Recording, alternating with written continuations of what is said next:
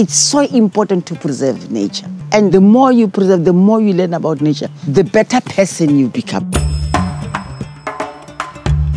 My best memories are of the stories we were told, the way they told them, and the way they took us out into the field. And when we went out, it was not one. Sometimes we were groups of children with their grandmothers. So it was this harmonious, loving environment under which we grew.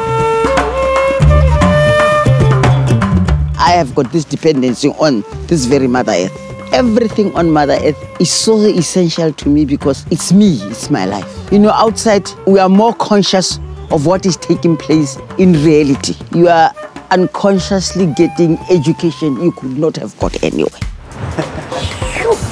the place is beautiful. Ooh! You know, I go to the seas and what, what, I've never seen this beauty.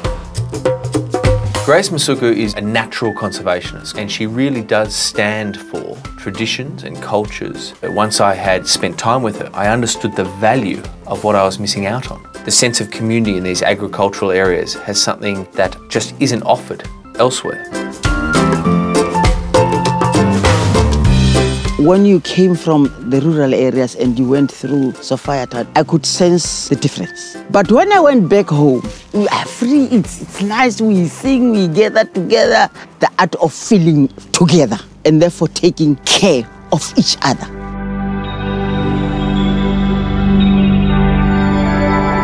I had this wonderful grandma.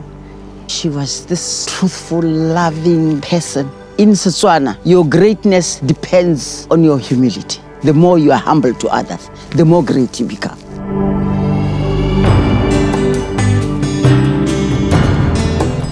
No, in the cities, people have become aliens to themselves. That is why I've got the projects all over in the villages. We want to remind the people where we come from. And Grace, I want you looking up to that mountain. It's better that way. Better than looking at me. Yeah, I mean, it's because I'm looking at something beautiful up there.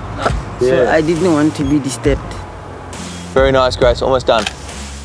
The concept was a woman who was deeply rooted in her community and into the ground. She accepts that for her to flourish and for her community to flourish, the natural world around her must flourish with them. Without this world, at our most base level, there is no us.